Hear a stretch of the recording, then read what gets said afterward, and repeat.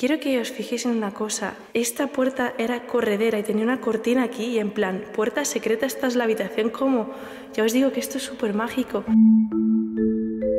Al igual que hice con la primera parte, con esta intro apenas vais a ver lo que escondía la guardilla. Prefiero que poco a poco vayáis descubriéndola conmigo y ya os adelanto de que no solo queda la guardilla por descubrir.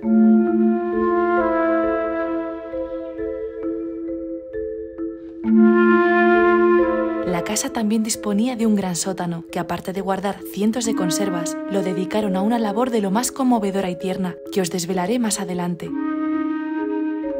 También descubrimos dos extrañas construcciones en el jardín y un garaje aislado que tenía sorpresa en su interior, y no me refiero a este carrito de muñecas que estáis viendo. Finalmente, tras encontrar varios documentos y ver estas radiografías, desvelaré lo que le pudo pasar a la señora Luisa para que esta casa tan mágica acabase en el completo olvido.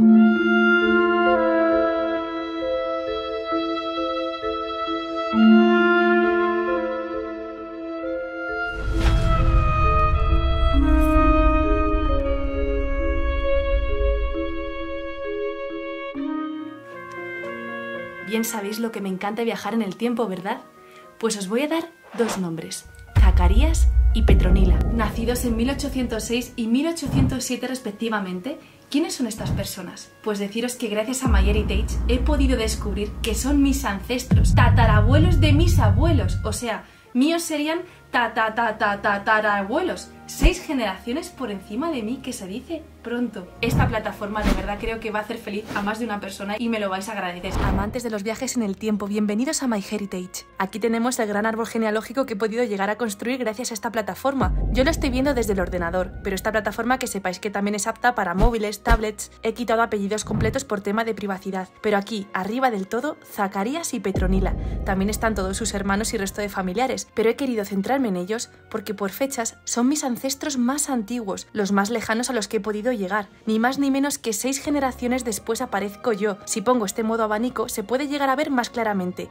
1, 2, 3, 4, 5 y 6. Cuantos más datos de nombres, apellidos y fechas pongas, más fácil es que se puedan dar coincidencias, ya que hay más de 90 millones de personas registradas en esta plataforma, y así es como yo he podido hacer más y más grande este árbol. Pero aquí viene lo mejor. MyHeritage hace magia reparando fotografías como estas que estáis viendo aquí. Mis bisabuelos, los padres de mi abuela. Mirad el nivel de detalle que se consigue después de pasar la herramienta de reparar y de dar color a la fotografía. Pero esto a mi parecer es lo más espectacular que ofrece MyHeritage, animar fotografías antiguas. Hemos cogido a la abuela de mi abuelo y este ha sido el resultado. Como si estuvieran aquí delante de mí. ¿Cómo han logrado eso, hija?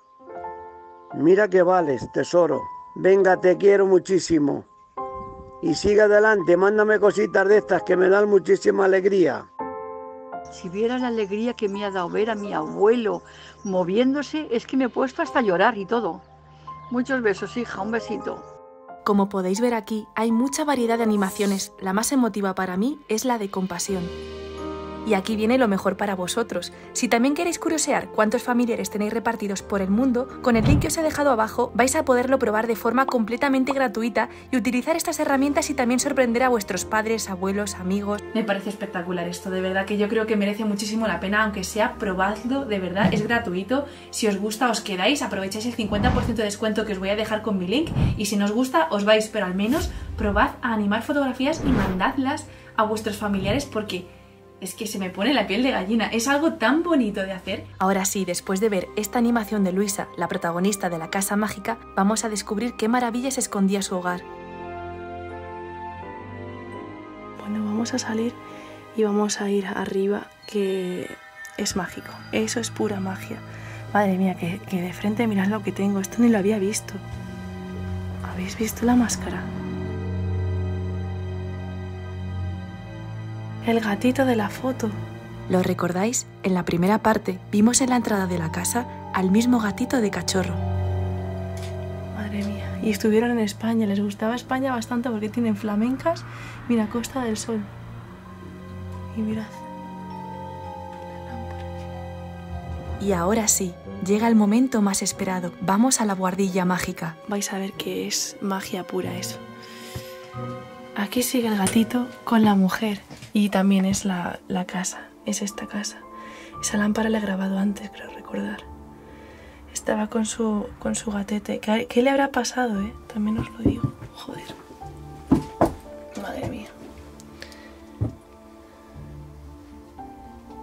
Fijaos, tantos recuerdos. Tantos recuerdos. Ostras. Subir por estas escaleras nos llevaba a una cápsula del tiempo soñada por cualquier explorador. Vais a alucinar. Es muy, muy estrechita la escalera. Ya de primeras, aquí hay juguetitos. Y no sé cómo hacer para que veáis todo. Aquí es donde yo ya estaba que me iba a estallar la cabeza de lo bonito que es este lugar.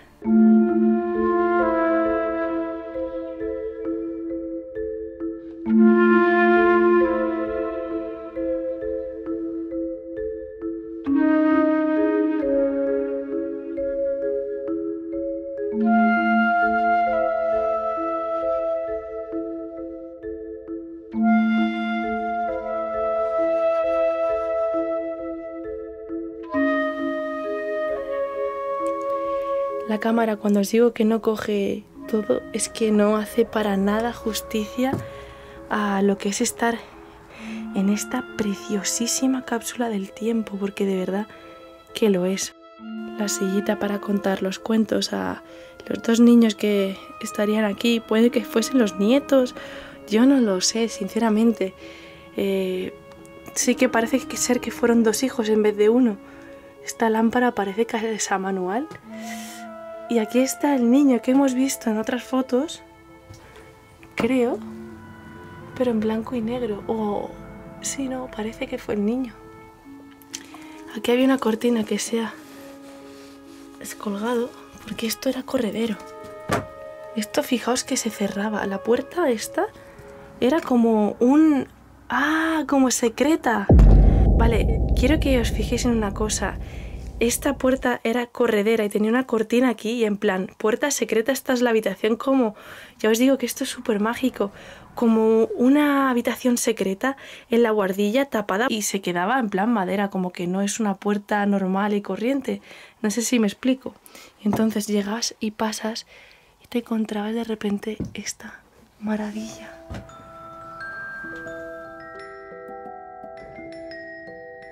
Viendo estas imágenes, aún sigue sorprendiéndome que exista algo así abandonado.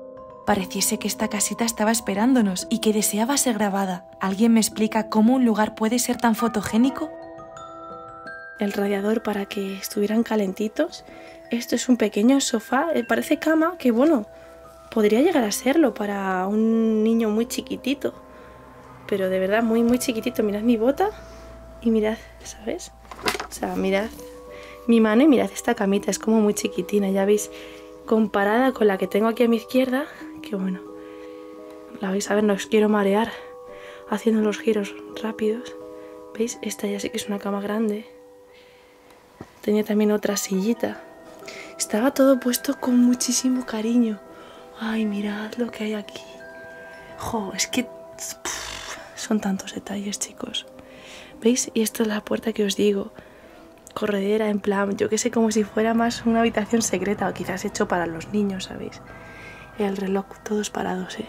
¿Cuántos relojes habrá en total en esta casa? Os propongo un juego a ver si llegáis a contabilizar los relojes que he sacado en el vídeo. Yo luego voy a intentar contarlos, a ver si os aproximáis un poquito. Esta es una mesita, el candil y como no, más armarios llenos de ropa, todo, todo hasta arriba de ropa, un chaleco, madre mía. Aquí estoy yo, chicos, alucinando por todo. Sábanas, manteles. Qué pena. Abrigos. ¡Hola! No me lo creo. Ya he visto en este viaje tres cajas de estas. Antiguas jeringuillas reutilizables, eh. Mirad. Ostras, qué peligro. Menos mal que llevo los guantes, pero... Aquí estará, supongo. Ah, pues no. Oh, sí, sí, aquí hay algo. Oh, oh, oh. Mira. Aquí estaba donde se ponían, yo creo que las jeringuillas ya esterilizadas. Jolín, todavía queda un poquito de rastro de sangre, ¿eh? Lo voy a volver a cerrar. Y estaba dentro de esta cajita que tenía aquí más. De hecho, también hay algo raro y es que hay como para hacer incisiones en la piel. No sé por qué. Por algo sería. Mirad, más... No sé, no sé por qué es esto. No sé si se ve, pero esto es vidrio. La jeringuilla de vidrio. Uf, tío, qué locura, macho. Menuda cápsula el tiempo es esta. Yo creo que esto es el mejor check-in de mi vida. Bueno, espérate que no había... No me había fijado de que esto era una cuna. Aquí escondida en el rinconcito. Una cunita con un encanto, tío. Qué bonito. Esta mesilla al lado con la lámpara. Aquí los papis seguramente. Ay, mirad qué foto más graciosa. A ver si con el... Mirad.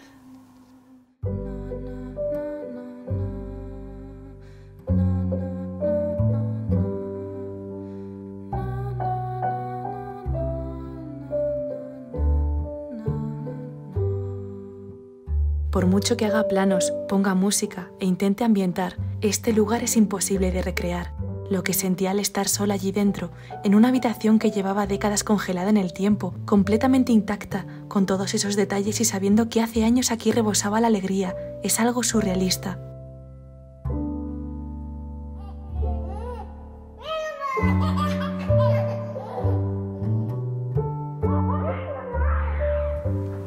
foto de este niño, bueno, a ver cómo lo hago para no romper. Es que hay una telaraña aquí. A ver, hola, mirad la silla. Está cosida, madre mía, es que todo tiene encanto en esta casa. Vale, mirad. La foto del niño que os voy a enseñar es la foto que acompaña toda la casa. Está por todas partes este niño. En todas las habitaciones aparece. ¿Quién sabe si es que pasó algo con este niño y lo querían recordar por toda la casa? Porque no es normal que en todas las habitaciones haya una foto de este niño. ¿Os habéis dado cuenta? No sé, es, es curioso.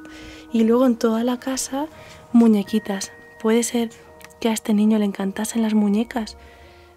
Es que quién sabe, ¿no? Porque es curioso que en todas las habitaciones había muñecas y para recordarle, a lo mejor si le pasó algo, pues hicieron esto. Fijaos aquí, un colegio, la foto de los niños en un cole. Y no, esto no es todo. La buhardilla no ha hecho más que empezar.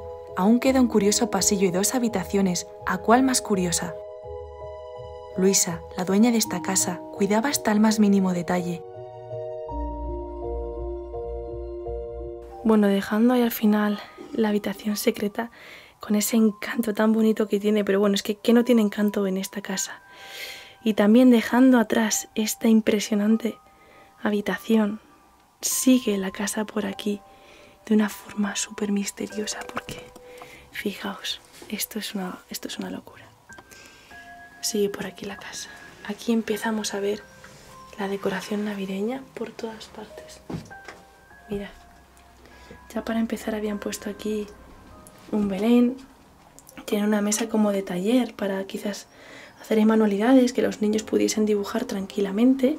Son huequitos todo como muy bien aprovechados en esta casa. Porque cada huequito tiene todo lo que se necesita pues para que no falte de nada. Un espejo de cuerpo entero, la plancha, aquí podían planchar, otro espejito pequeño, un crucifijo, que en todas las habitaciones, si os habéis dado cuenta, hay crucifijos. Y atención, que aquí hay una de las habitaciones, bueno, una, no es que ha sido la habitación que a mí me ha hecho estallar, no sé, me ha parecido algo, ahora lo veremos. Y justo encima de la puerta que da acceso a esa habitación tan mágica que os estoy diciendo, mirad, habían puesto juguetitos, es que ya es por todas partes ese encanto. Bueno, estáis viendo, por cierto, el tamaño de la puerta que también es como, guau, parece que no da a ningún sitio y ya veréis a dónde da. Pero vamos a seguir primero por esta otra habitación que tiene también su cortinita que era corredera para... Y mirad, más. más locura de cosas, por si fuera poco. Mirad qué reloj hay ahí y mirad lo que da la, da la bienvenida a esta habitación. Y es en esta habitación cuando veo claro lo que pudo pasar con el niño, que aparece en todas y cada una de las habitaciones de esta casa. La fotografía del niño en otra habitación. Seguramente le perdieron, o sea, es que lo tengo clarísimo, le perdieron y le tenían que tener en todas las habitaciones presente. Y quizás por eso es que en todas las habitaciones tenían peluches o juguetitos para recordarle y para que si creían en el más allá, que el niño estuviera contento de, pues tenemos aquí los peluches que tanta ilusión le hacía, porque no quiero juzgar, ¿vale? Pero sí que el niño parece a lo mejor que sufrió síndrome de Down, que por cierto para mí la falta de un cromosoma, o sea, que es el tener el síndrome de Down, hace a las personas realmente buenas, hace quitarle la maldad al ser humano, porque de verdad las personas que tienen síndrome de Down son de todo menos malas, o sea, que no tienen maldad. Y no sé por qué me da a mí que pudo padecer síndrome de Down y por lo que se le perdieron y todo está acompañado de peluchitos que seguramente le harían una ilusión enorme. A mí esto es que me van, según voy viendo las casas, es como que se me va aclarando todo, qué es lo que pasó aquí. No sé, el padre era policía, la madre vivió pues como ama de casa, tuvo al hijo y luego lo perdió. Seguramente tuvo luego algún niño más que fue los que le han dado nietos, o quién sabe si en vez de nietos son sobrinos, que tuvieran hermanos y que cuando murieron por un accidente, esto se quedó en el olvido porque a lo mejor vivían mucho más lejos que, que, sus hermanos y, y bueno, esto se ha quedado pues aquí porque nadie lo reclama, nadie sabe, es que no lo sé, es que no, no tengo ni idea. Vale, esperad que abriendo este armario mohoso, mirad.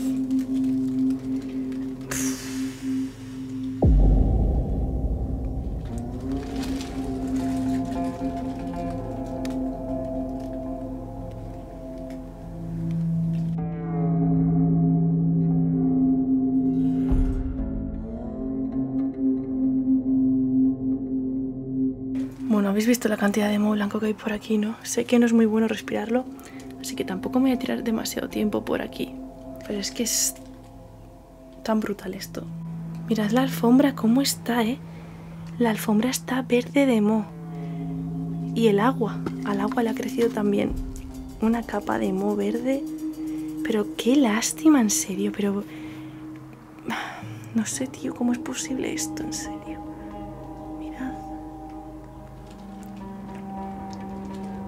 Impresionante. Bueno, vale, y yendo a la izquierda, ¿vale? Para que estéis situados, mirad lo que hay aquí. Unas estanterías de cristal y tienen moneditas, una pistola, lámparas. Bueno, esto es una locura. Lo sé, no sé cuántas veces he dicho ya qué locura, pero es que estáis viendo esto, los detalles rebosan por todas partes, colecciones de conchas, de cochecitos, soldados de juguete, monedas, libros. Este lugar es una verdadera joya congelada en el tiempo. Vale, eso de ahí no sé qué es como una especie de consola antigua. Luego con la Sony me acercaré, pero mira esa estantería cómo está. El móvil acaba, o sea, el foco acaba de morir. Voy a cambiarlo. Y así Estamos en, la, en el pasillito que da acceso a la habitación de la, de la Navidad, que me parece súper bonito. Vamos para allá. Está aquí. Recordad que para entrar a esta habitación había que agacharse bastante. ¿Qué me decís de esto? ¿Qué me decís de esta locura?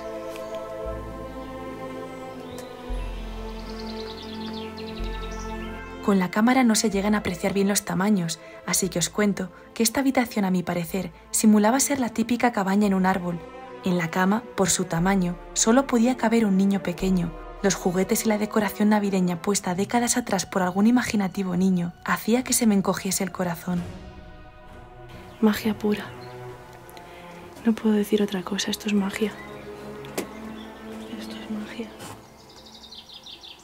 Y encima todos los pajaritos cantando en plan locura. Esto es magia, esto es un regalo de la vida.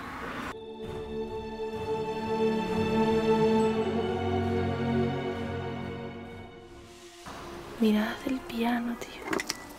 Claro, supongo que iba a pilas, sí. Es un de juguete, evidentemente, pero qué chiquitito y cómo está todo decadente. Es impresionante, es, es- es impresionante. El carrito, los dos sombreros colgando con esa cortina ahí, que no sé, no tiene sentido, pero ellos lo han querido poner y ya está. Y aquí trajes. No sé, mirad. La ropa del hombre aquí arriba. Cierto es que abajo solo hemos visto ropa de mujer en los armarios. Pero bueno, no sé, nunca se sabe. Yo creo que esto sí que fue olvidado de golpe por algo. O la mujer pues se quedó sola. Quién sabe. Porque perdió al marido, al hijo y al final pues acabó sola y también falleció. Es que pueden pasar tantas cosas. Mirad el sombrero este. ¿Qué pensáis vosotros al ver esto ahora mismo? Al ver esta casa, ¿ya habéis llegado a un punto en el que habéis visto la cantidad de objetos acumulados? ¿Cuál es el destino de estos objetos, no? Que es estar aquí, que bueno, ahora yo pues los puedo... A ver si... fijaos.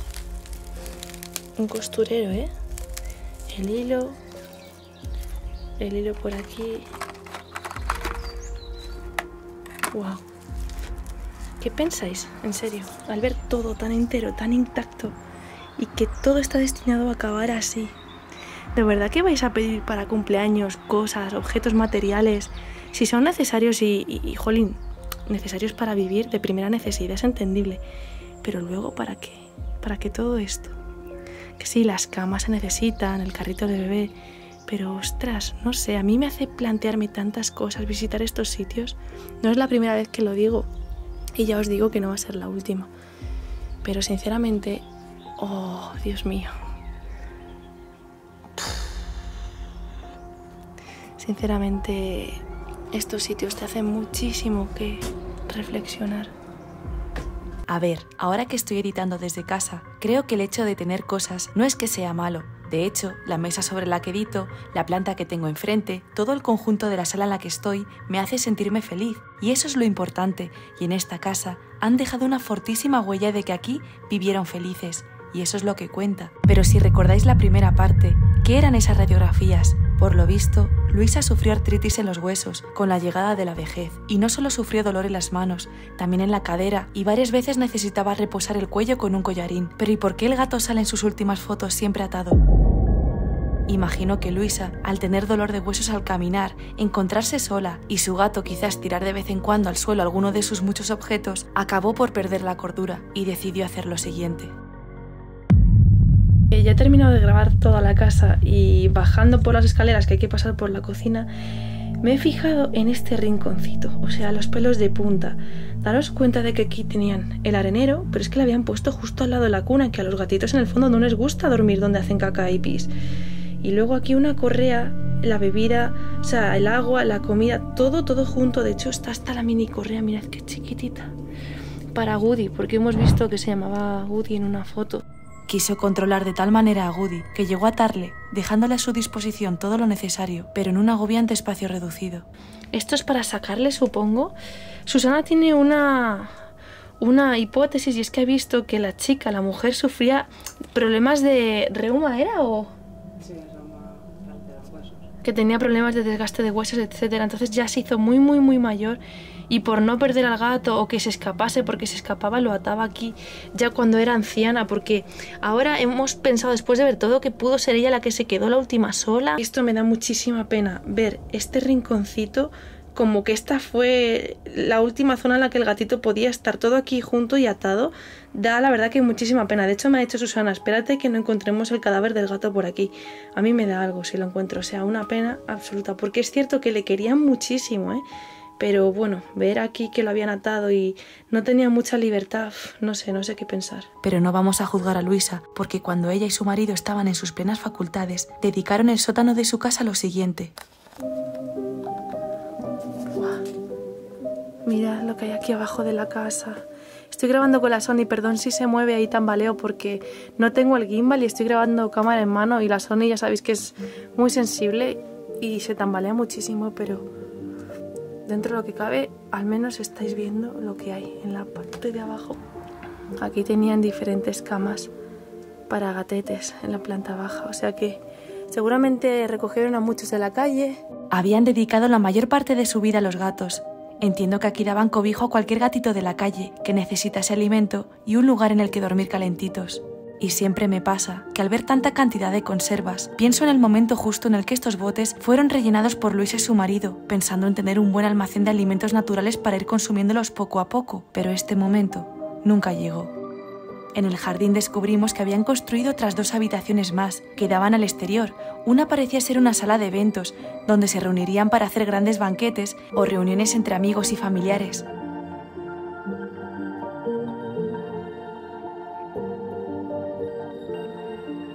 La otra sala, mucho más pequeña que la anterior, parecía estar destinada a ser una sala de lectura o de relax.